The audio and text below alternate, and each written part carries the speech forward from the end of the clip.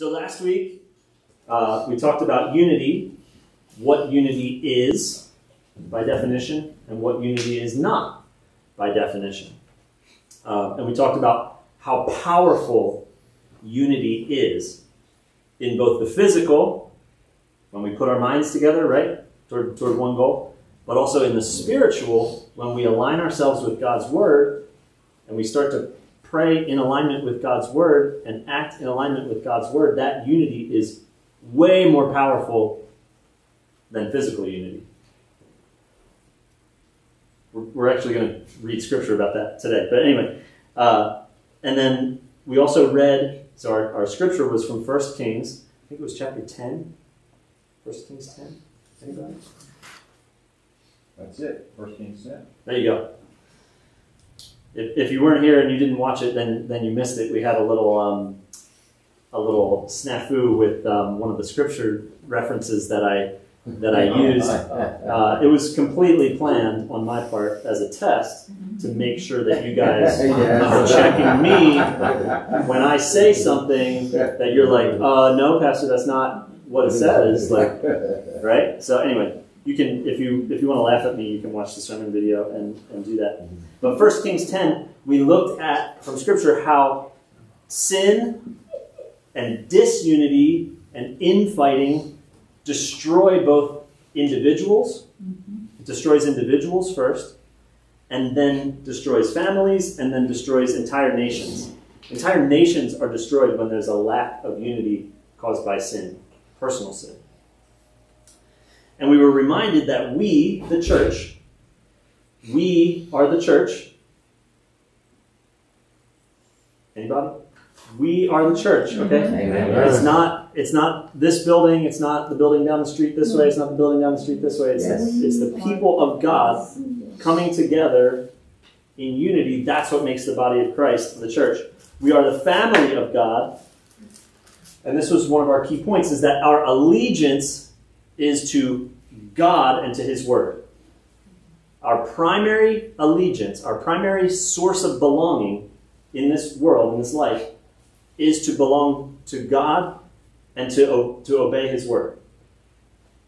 And if we if we claim allegiance or we, we find belonging, a sense of belonging from anything less than God and His Word and His church, then we're gonna we're gonna veer off. We're gonna not be united and, and we're gonna get frayed and vulnerable to the attacks of the enemy.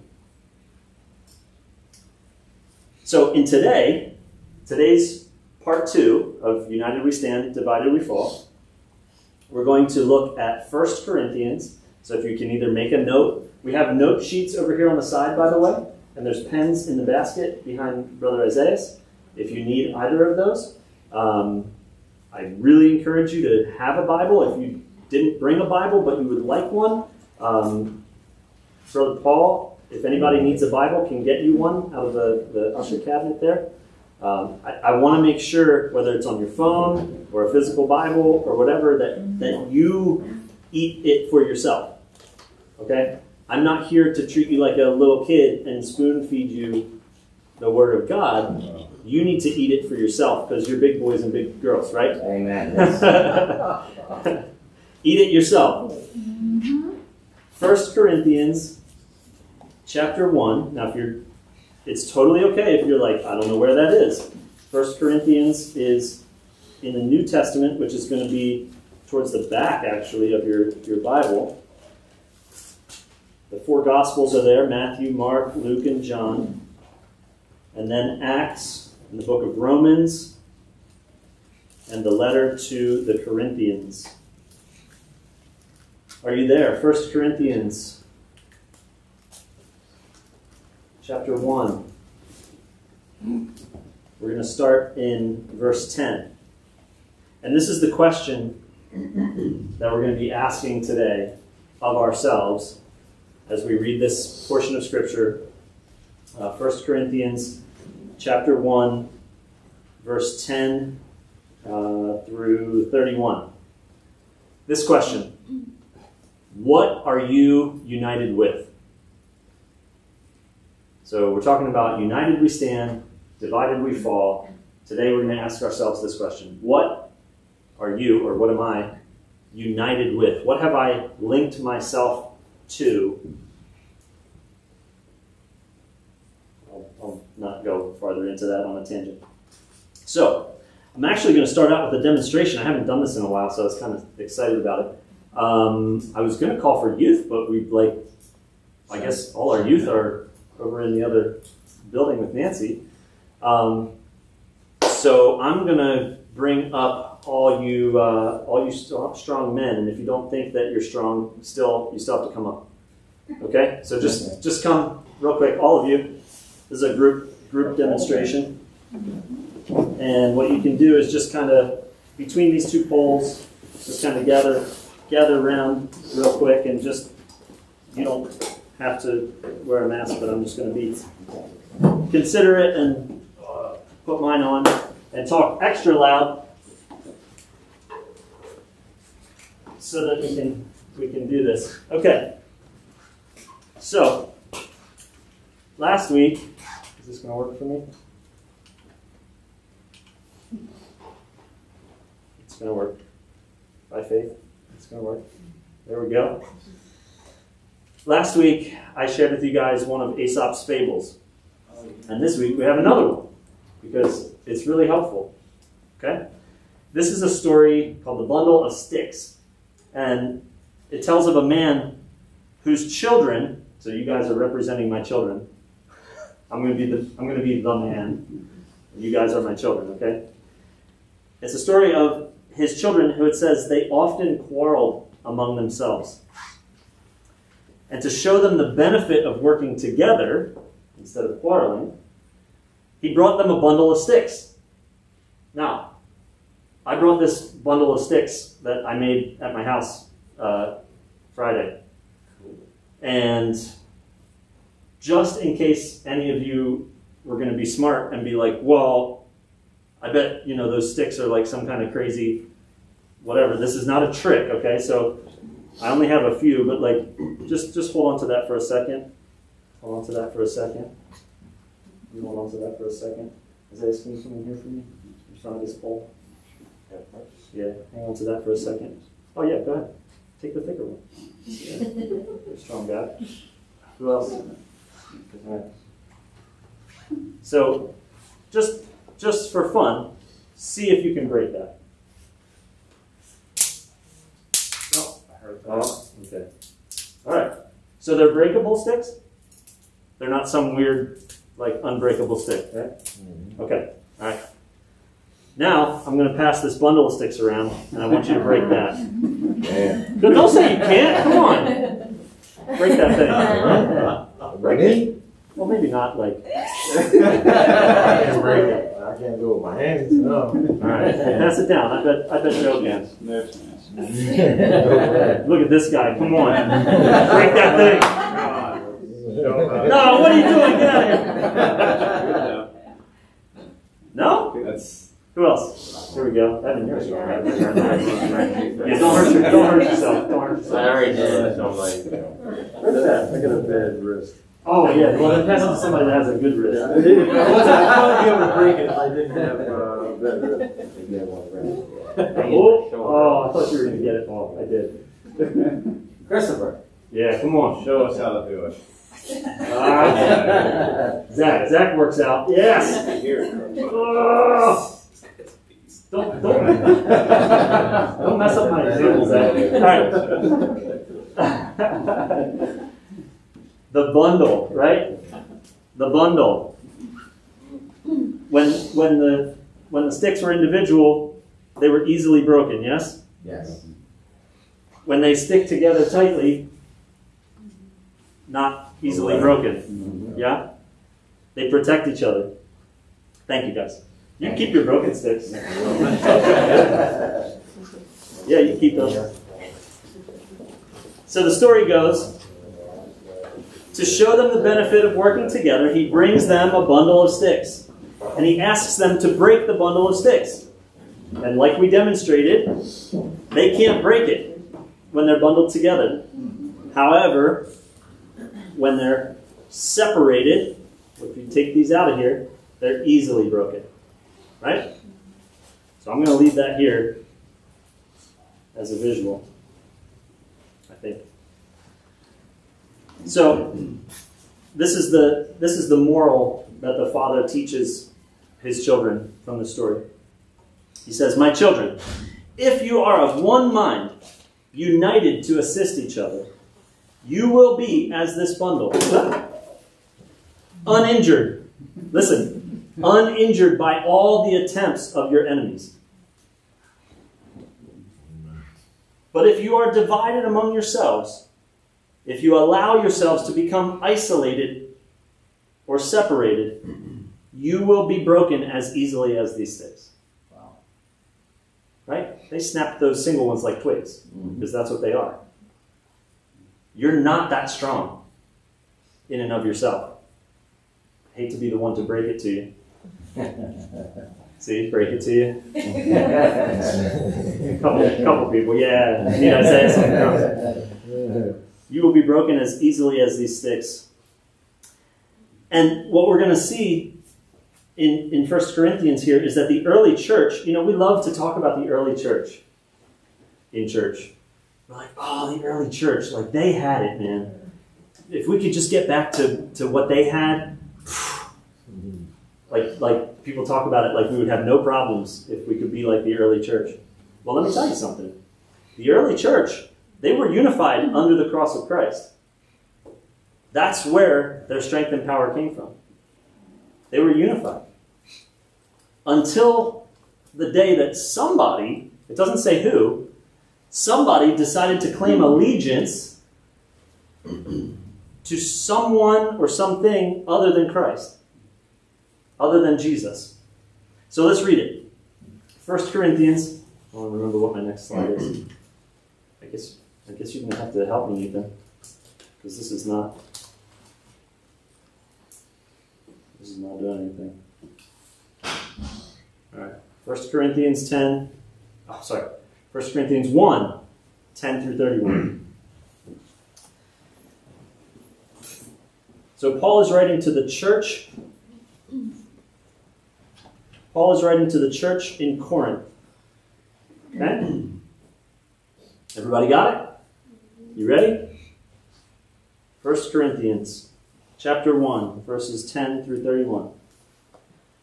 Paul says, I appeal to you, dear brothers and sisters, by the authority of our Lord Jesus Christ, to live in harmony with each other.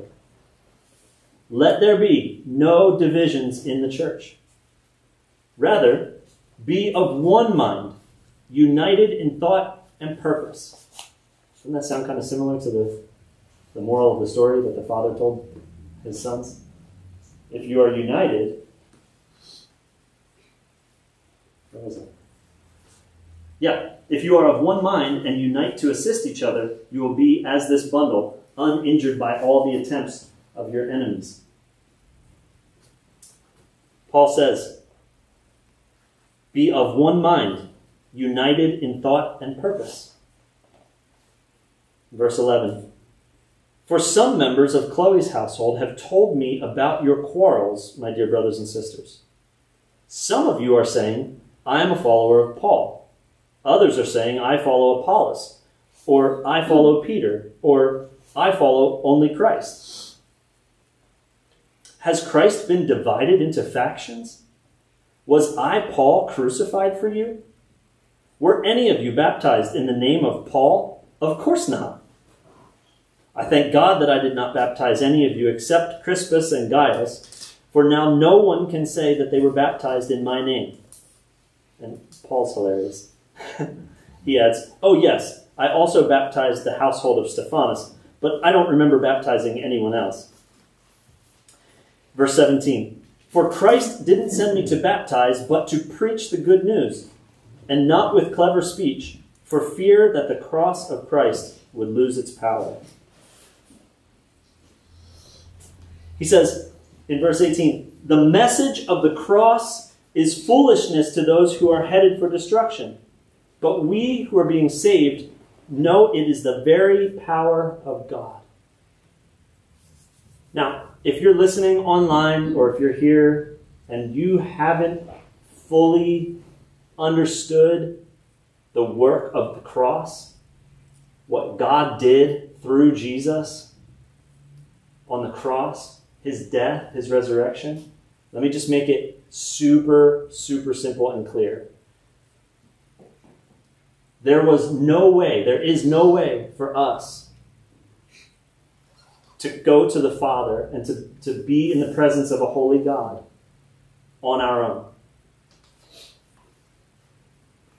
God had to make a way, and Jesus submitted himself to the will of the Father as a, as a perfect, blameless, holy sacrifice to take on all sin Amen. in himself, carry it to the cross, and have it nailed there. That we could be free from the power of sin. Yes, Father. Free from the power of sin. And then he rose from the grave so that we would also be free from the power of death. Mhm. that we could spend eternity with Him. That's the work and the power of the cross Amen. Yes. in its most simple form. And Paul says, We who are being saved know it is the very power of God.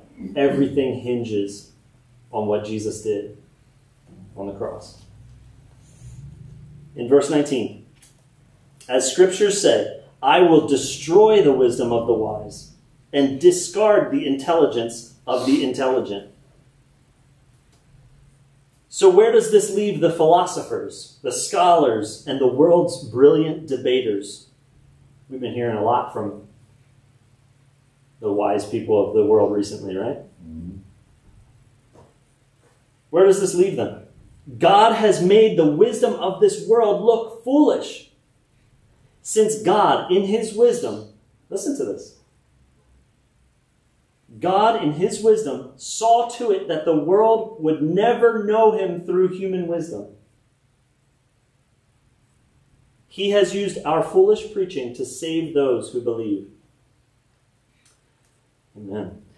Verse 22 It is foolish to the Jews who ask for a sign from heaven, or ask for signs from heaven, and it is foolish to the Greeks who seek human wisdom. So when we preach that Christ was crucified, the Jews are offended, and the Gentiles say it's all nonsense. But to those who are called by God to salvation, both Jews and Gentiles, Christ is the power of God and the wisdom of God. This foolish plan of God is wiser than the wisest of human plans. Mhm. And God's weakness is stronger than the greatest of human strength. We talked about that last week. I mentioned it this morning as well in review. Unity in the physical is good and we can accomplish great things, but unity in the spirit and in the Word of God and in the body of Christ. God's weakness is stronger than the greatest of human strength. Paul goes on in verse 26 Remember, dear brothers and sisters, that few of you were wise in the world's eyes or powerful or wealthy when God called you. Instead, God chose the things the world considers foolish in order to shame those who think they are wise. And he chose things that are powerless to shame those who are powerful. God chose things despised by the world, things counted as nothing at all, and used them to bring to nothing what the world considers important. As a result, no one can ever boast in the presence of God. Verse 30 makes it super clear. God has united you with Christ Jesus. For our benefit, God made him, Jesus, to be wisdom itself. Christ made us right with God. He, Christ, made us pure and holy. And he freed us from sin. Therefore, as the scriptures say, if you want to boast, boast only about the Lord. Amen. Amen. Amen. Father, I commit your word and the reading of your word to the hearts of your people. God, change our hearts as we look at your word.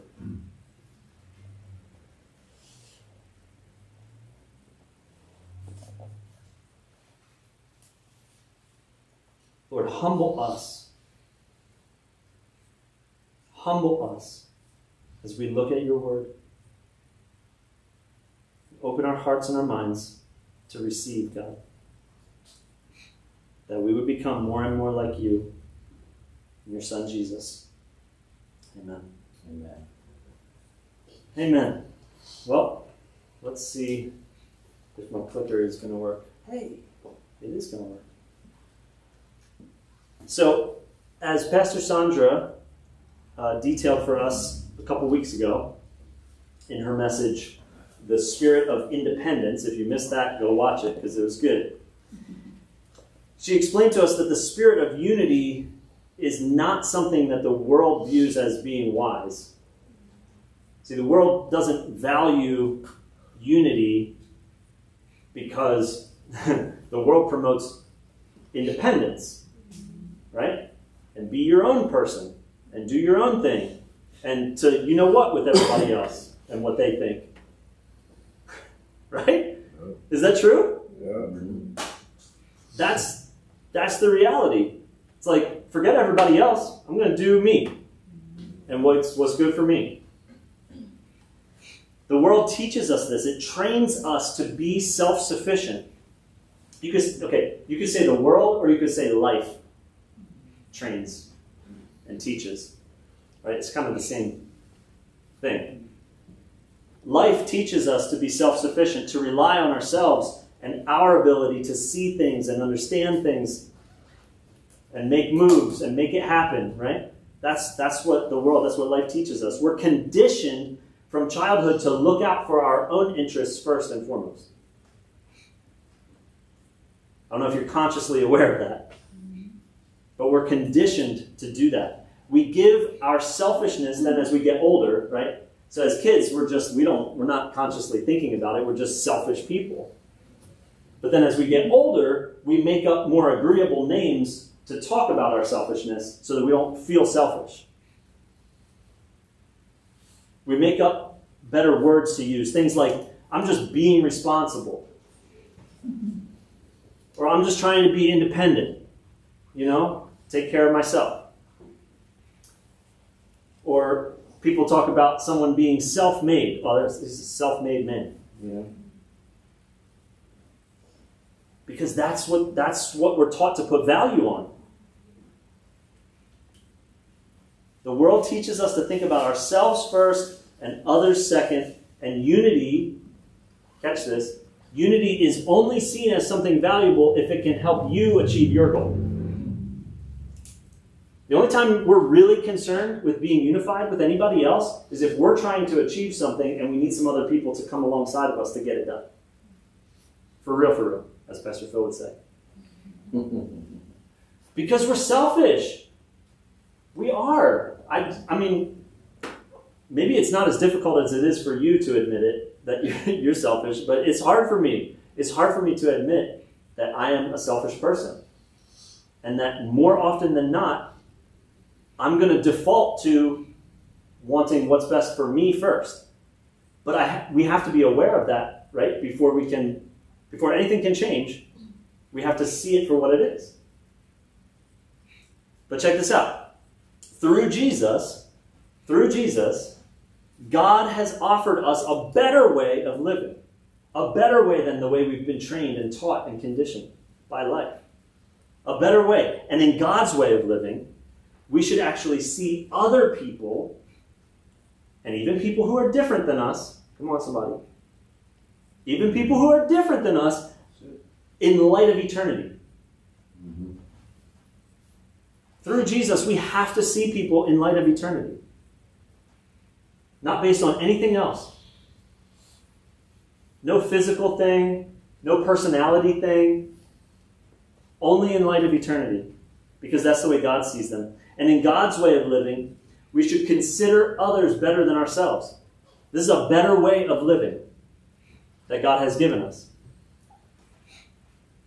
It's a better way to live, to think of others as better than ourselves, because it teaches us to trust that God is for us and that God is going to take care of what we need, the things that we would have previously made happen, right? And we would have been self made and we would have been independent and we don't need anything from anybody, right? Because we can handle our own business. God will provide all of our needs and it teaches us to trust Him. You might be one of these people, I hope you're not. But some people will actually get offended when you suggest that Christians should think and live this way, selflessly. In this united we stand, divided we fall. Some people will actually get upset.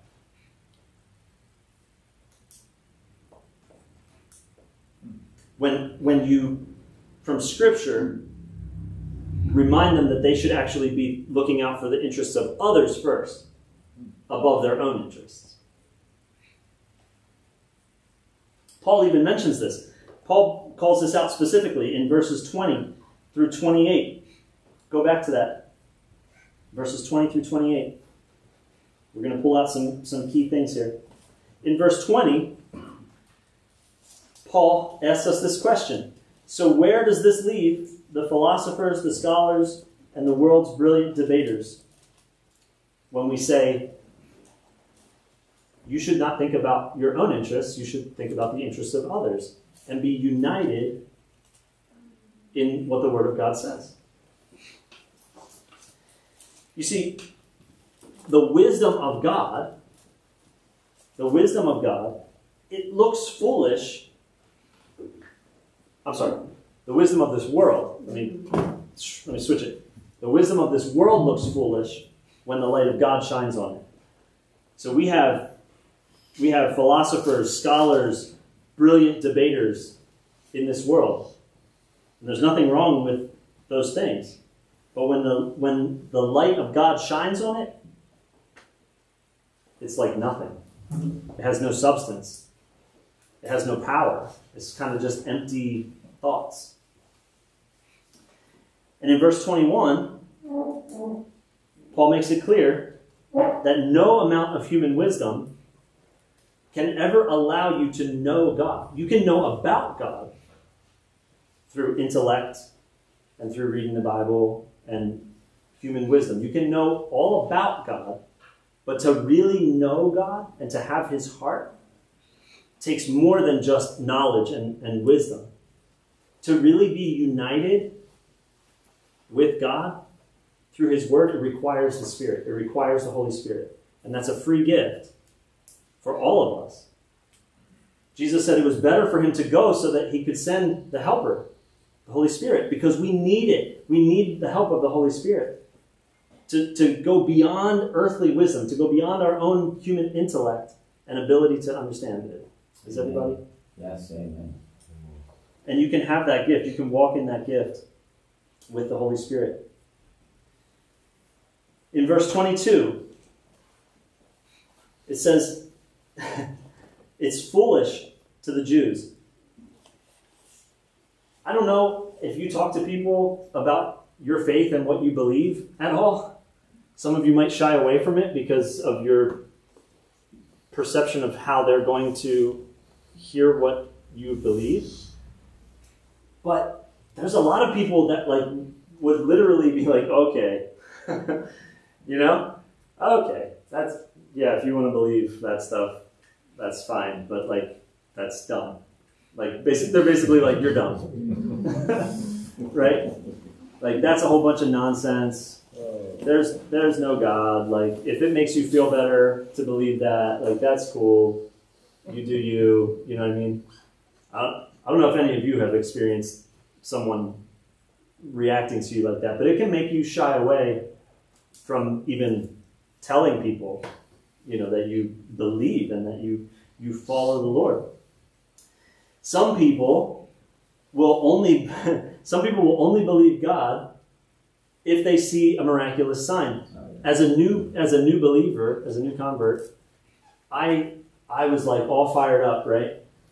And I would still go and hang out with my old friends while they party because I was like, you know, you guys need to, you guys need to experience this, like this Yes. freedom, and like my eyes have been opened. Like, I'm not going to tell you my whole testimony, but it felt like I couldn't see, and then all of a sudden, through the work of the Holy Spirit, it was like I could see, and I could see my life for what it really was, and I could see my own heart and the condition of my own heart, and how hard and cold and dead it was. And God gave me a new heart. It, talks about it in the Word of God yes. taking our heart of stone and giving us a heart of flesh. That's what happened to me. And I was so excited that I went back while my friends partied and tried to talk to them about Jesus. And I'm like, you guys are missing out. Like, this is so much, what I have is so much better than what you're doing. And one of my friends actually said to me, he said, listen, I'll believe in God if he tears the roof off of this building right now and proves himself to me. That's the only way I'm going to believe in God. Wow. And I, I was just sad, and I was like, "Well, I'm sorry, bro, but like, that's not going to happen. Yeah, exactly. That's not going to happen. Scripture says, don't put don't put God to the test. Exactly. Mm-hmm. You know. Anyway, some people say God has to show me He's real, as if God somehow owes them evidence. Mm-hmm. Like that, people think that God owes them something for them to believe in Him. And then some other people, also in verse 22, some other people believe that God, well, they won't believe that God exists unless you can prove it to them in some natural term, in some physical way, right? Um, they'll say something like, well, if God exists, show me. Pro- prove it, like scientifically or whatever. Now, you, if you guys know me, you know I like science. I'm a proponent of science. but some people are like, prove it scientifically as if God, the, the God, listen, the God who created everything out of nothing, as if somehow God is going to be explained to them through some scientific method. God created all of that. He doesn't owe us some like proof. He is. He is. Anyway, and God chose the things of this, the things the world considers foolish. I'm in verse 27 here. God chose things the world considers foolish in order to shame those who think they are wise. Do you have anybody in your life that thinks it's foolish that you have faith in God? Yes. Do you have anyone in your life who thinks it's foolish that you pray? Here's a good one. Do you have anybody in your life who thinks it's foolish that you tithe? Yeah. What, what, are, you, what are you giving money to the church and stuff for? Yep. Don't you need it? Right? And you're like, yes, I do, but I want to honor God with my finances. It's what the, you know, there's a lot of things that we do and we believe and, and we stand on because it's in Scripture that people who we interact with are like, that's dumb. Right? And they might be nice and not come right out and say it, but they think it about you. God chose these things that the world considers foolish in order to shame those who think they are wise. Check this out. Let me break it down. God chose things like selflessness, not selfishness, selflessness. God chose these things like sacrificial giving of ourselves.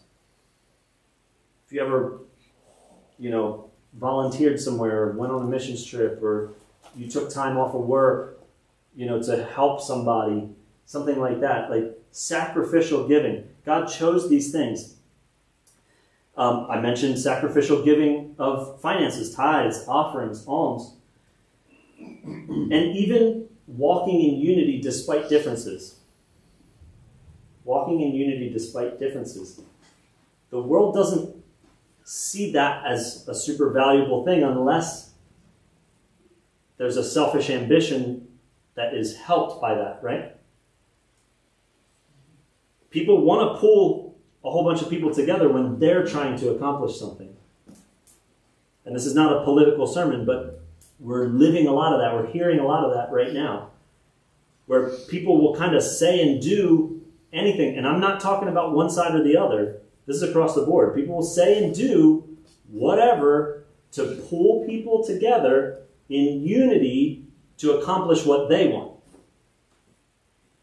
Is that fair? Mhm. And you've heard it. You know, you hear the promises and you're like, well, they say a lot of things. God has chosen the things that He's called us to live out, things that seem foolish in the world's eyes. Like, well, what are you going to accomplish like that? To shame those who think they are wise.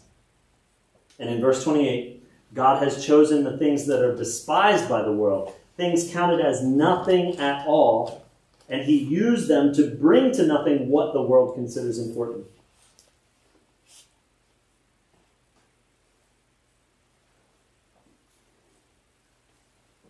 He uses those foolish things, those things that the world counts as worthless, in your life to bring to nothing what the world values, what the world considers important.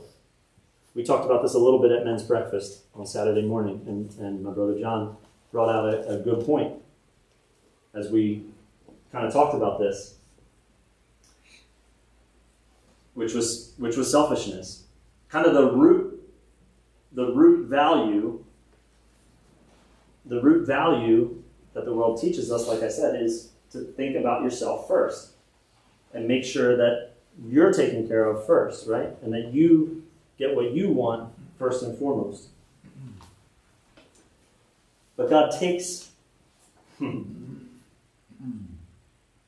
God takes your selflessness, your humility, and He uses that to show other people this better way of living that He's designed. He uses you as an example to other people. You probably don't even have to speak a word. You can just be a living, breathing example of a better way of living. Yes. Just simply by making sure your life lines up with what Scripture says. And how can you know what Scripture says? It's not a trick question. Read it. Read it. Just read it. Uh, Isaiah and I were, were talking this morning. I I heard this great, uh, this great quote from Bill Johnson. He was talking about um, when when he um, when he struggles, when when someone is is doing something or saying something about him that's that's false, or um, you know when, when he's just having an internal conflict. He says, "I read until God speaks." Just if you're not feeling it or you know god's not speaking to you or you're like i don't know what i'm doing just keep reading Yes. Amen. just keep reading just keep putting the word of god in your mind and in your heart and at some point god is going to speak to you Mm-hmm. Yes, you will. through it and it'll be at the right time at the right place just what you needed and it'll come right from his word and you're going to know that it's true sometimes we struggle with like well i don't like we think things or we feel things right in our emotions and we're like i don't know is it god i don't know when you read it in the word it's like there but, but it's god Yes. right you don't have to worry about am i being emotional or is this just a thought that came into my head if it's the word of god you can stand on it amen Amen. Yes. when you're united with what God has said in His Word, you won't be divided and fall. You will stand. Okay? You guys, are you guys with me? See where I'm Yes. see where I'm going? Okay. All right. I want to be extremely clear about this point though before we move on, which is that God is calling His church. God is calling His church, you, to stand united in Jesus. Mm-hmm. Okay, I understand we're in the middle of an election cycle. I understand that there's a future that could be impacted one way or the other. I'm aware of all these things, okay? I have the same concerns that maybe you have. But right now, God is calling his church to stand united in Jesus, Yes. first and foremost. Because that's where our belonging comes from. And that's where our belonging will stay. As long as we don't allow ourselves to unite, right? What are you united with? What are you joined to? As, as long as we don't start belonging to or uniting ourselves with anything above Jesus, right? It's Jesus, and then we can have other affiliations and associations from there down. Okay? But if those if those affiliations and those connections and those belongings go against Jesus or the Word, then it's easy for us, right? It's like, oh, well, no, you have to you have to submit to the to the Word of God and to Jesus. Because you, my belonging to this thing or you know whatever is less than my belonging to Jesus. Nothing is going to supersede that. Praise the Lord. That's, that's where we have to live. So, I want to be very clear about that point. Also, that God is not calling us, His church, to stand united. When I say united, I'm not saying that we stand united with every wind of new teaching, as Ephesians says, Ephesians 4 14, if you want to look that up later. We're not called to stand united with every wind of new teaching or with lies that sound so clever Lies so clever that they sound like the truth. We're not called to stand united with those things. We're called to stand, and I said it before, I'm going to say it again. We're called to stand united on the Word of God. Period. And we're called to stand united in the Spirit, which confirms the Word of God. Okay? you can say, oh, the Spirit led me to do this. Well, if it doesn't line up with the Word of God, no, it didn't. No, He didn't. Show me in the Word of God where it says that, you know, and then we'll talk about whether it was the Holy Spirit or not. We have to stand united on the Word of God and the Spirit of God, or else we start to get divided like the sticks and we're easily broken. Right? United we stand, divided we fall.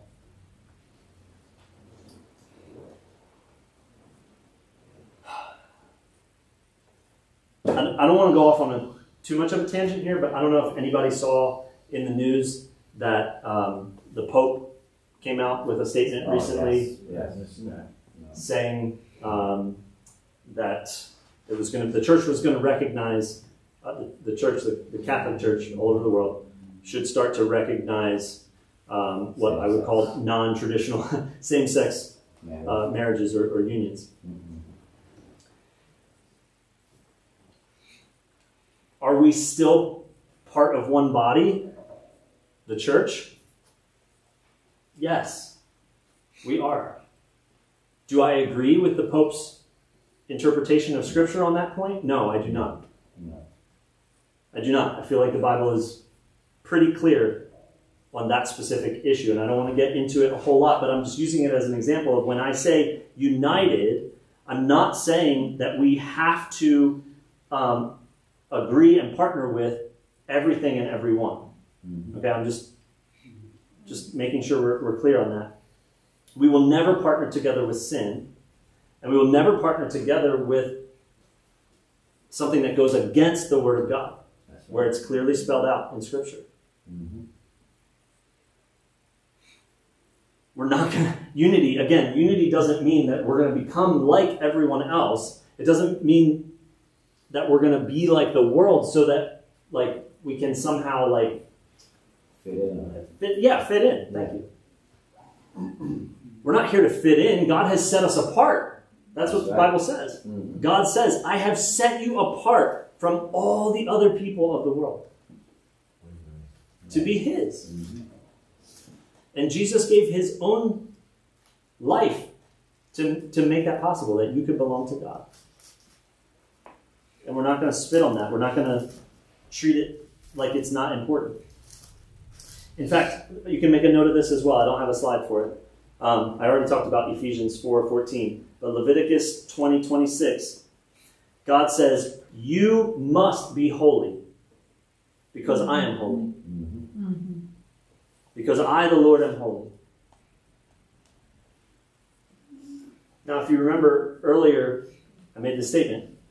I don't remember if it was in worship or in the sermon. It's like all kind of a blur. But uh, you cannot be holy in and of yourself. You are not capable of holiness on your own. You can do all the right things. You can say all the right things. You can know stuff about God. You can have it all together, and you can still not be able to be holy separate from Christ. Separate from Jesus, there's no holiness. Right. So when God says, You must be holy because I, the Lord, am holy, it's not like a list of like, do all these things and stay away from all these things, and then maybe you'll be good enough to get into heaven. Mm-hmm. It's, I gave you my son, Jesus, to make you holy. What did you do with that? What did you do with this new life that I offered you? Mm-hmm. Did you live it? or did you just kind of fake it till you make it? God says, I have set you apart from all other people to be my very own. That's Leviticus 20, 26. So I'm gonna I'm gonna start winding this down. Um, I want to give you three main points from today for your notes. One of my primary goals is that when I when when I share with you guys that it's not just Ryan talking. Like Paul said, it's it's not you know I follow Apollos or I follow Paul or I follow Peter.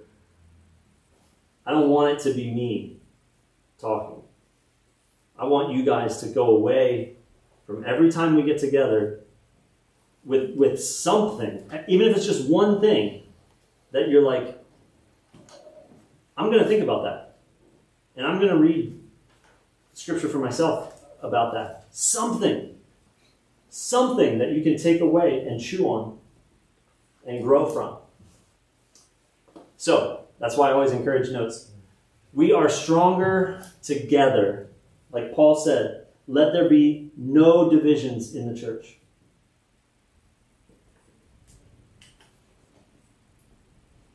Number two, it's going to get there. Selfishness and pride oppose godly unity. Selfishness and pride are in opposition to godly unity. But we have to admit that we're selfish and prideful first. Because selflessness, the opposite is selflessness and humility. They actually produce unity. When we can all be selfless and help one another, like in the parable, we protect each other. We protect each other and we guard each other, and we don't let each other fall into sin, which leads to disunity, which leads to the breakdown of the family and of our nation. Number three, I gotta start clicking this thing earlier so that it can get through. I was all proud of myself with the fancy transitions, and now I have to wait for it. Number three, we have been united with Christ. Okay, remember, these are not just things that I'm coming up with as like a motivational speech. This is from the Word of God. Verse 30 of 1 Corinthians 1 says, God has united you with Christ Jesus. This is probably the most important point. Because if we forget this, or if we don't live like we've been united with Christ, then it's like we're pulling ourselves out from the bundle and just saying, Go ahead and break me, enemy. Our allegiance is to Jesus first. First and foremost, to Jesus. Amen. So I'm gonna, I think I have them all three, all three of them there for you. We're almost done, guys. Don't don't uh, don't wander off in your minds just yet. Everybody got those three points? We're stronger together. Selfishness and pride. We're going to flush those things out of ourselves, like doing a, a cleanse. Some of you have done cleanses, you know what I'm talking about. We're going to flush flush that stuff out. Every time it pops up and you're like, ooh, that's I'm being selfish. Kill it. right away. Don't let it hang out with you. Kill it. And we've been united with Christ.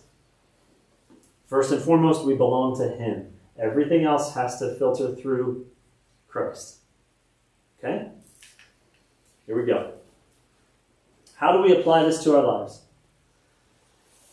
How do we apply this to our lives? What does it look like? What you know, it's great to have concepts. It's great to understand something in concept, but you have to be able to flesh it out. You got to be able to walk out of here and and have something that you can do with this, okay? What does unity look like? What does unity look like in your home? With your family, your immediate family, your extended family. What does it look like? What does it look like to walk in unity? What does it look like for us to walk in unity as a church family? Mm-hmm. Knowing that we're all very different, okay? Again, if you missed last week, check it out because I, I broke all that down. How God has made us different and unique, and that's not in opposition to unity, to true godly unity. God made you the way you are because He wanted you to be that way. Mm-hmm. With your personality and your strengths and your weaknesses, but we need each other and we need your differences. How does it look to walk in unity? 1 Peter 3, I'm sorry that's kind of small. 1 Peter 3, 8 through 12 makes it so practical to understand what does it look like to live and walk in unity in the church, especially. Okay?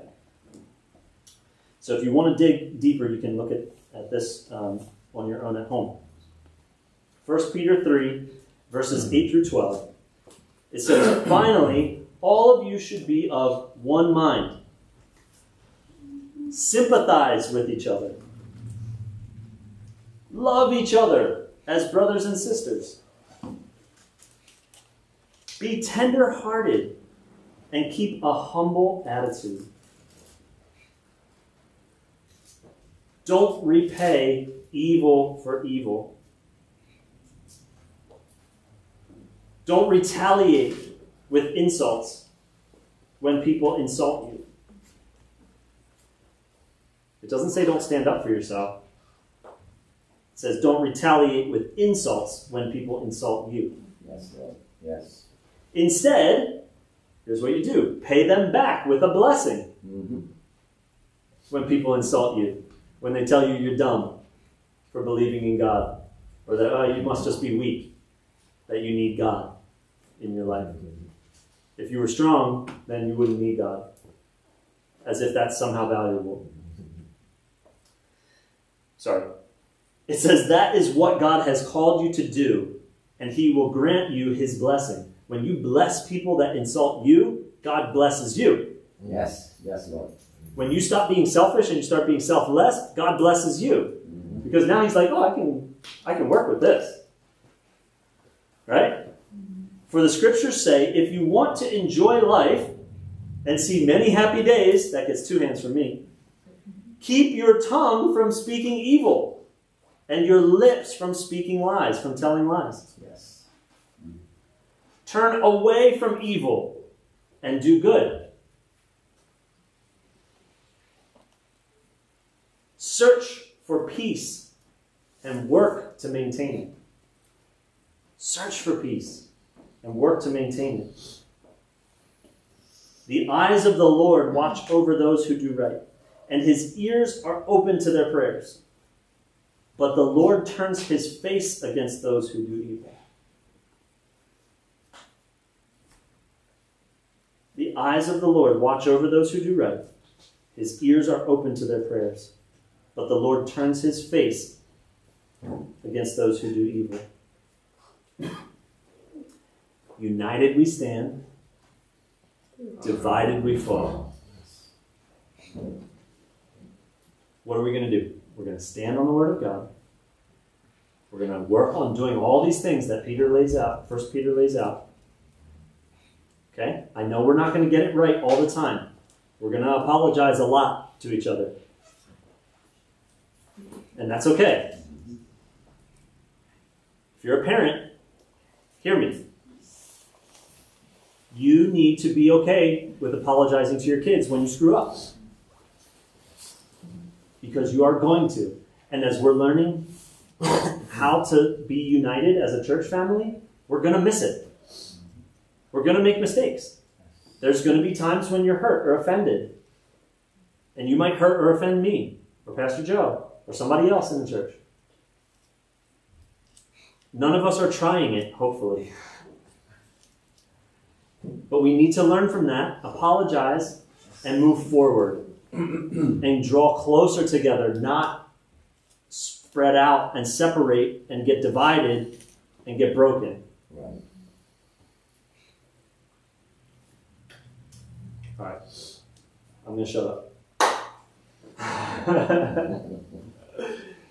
I'm going to be quiet because I'm I'm I'm excited about this. I'm passionate about this. About unity because I I see I see it the power that's there. It's there. It's like picking fruit from a tree. It's like it's right there. Just reach out and grab it. And I, I want it so badly for us because it's going to be so good as we grow in unity and we see the lies of the enemy and we fight against that deception, th- those lies that sound so good, they sound so true, but they're, they're there to divide us so that we can be conquered. We're going to fight against those things. And that unity, as we dig into the Word of God, individually and together, that unity that's going to come, the power that's going to come through the Spirit, through being unified in that, I can't. I'm just so. I'm so excited. I'm so excited to see what God is going to do. Amen. Amen. Mm-hmm. Yes. What God is going to do. So, if you're excited to see what God is going to do, then I'm going to invite you right now. We're going to just pray. I'm going to release a blessing over you, not because I have a blessing to give, but God has put me in this position to be able to bless. Right? To be able to bless. And so I want to I want to give that to you as as a gift today that you would be able to receive from his word. So, if that's you, if you're excited to see what God is going to do, just stand where you're at. I'm not going to ask anybody to come forward. I'm not going to ask you to do anything embarrassing. I just want to bless you and love on you. Amen. Yes. Yes. Lord, I thank you. I thank you that your people are excited to see what you're going to do, God. Yes, we're like the family of Israel standing at the edge of the Red Sea, waiting to see what you're going to do, God. And we believe by faith according to your word. By faith according to your word, God, that you're going to make a way possible for us to live in unity despite our differences, that you're going to make a way possible for us, Lord, to show the world a better way of living. God, I release that blessing on your people in this place and online this morning to live and walk in this better way that you've given us, God. To be selfless and humble in spirit. To look out for the best interests of others over their own desires, God, because I believe, according to your word, God, that when they return the insults with a blessing, that you are going to bless them. Yes, Lord. Yes, Lord. And you're going to teach us to trust you in the process. You're going to teach us to trust you, that we don't have to defend you to anyone. We don't have to defend you to anyone, God. We don't have to defend ourselves to anyone because you, God, you do it. You are faithful. You are strong.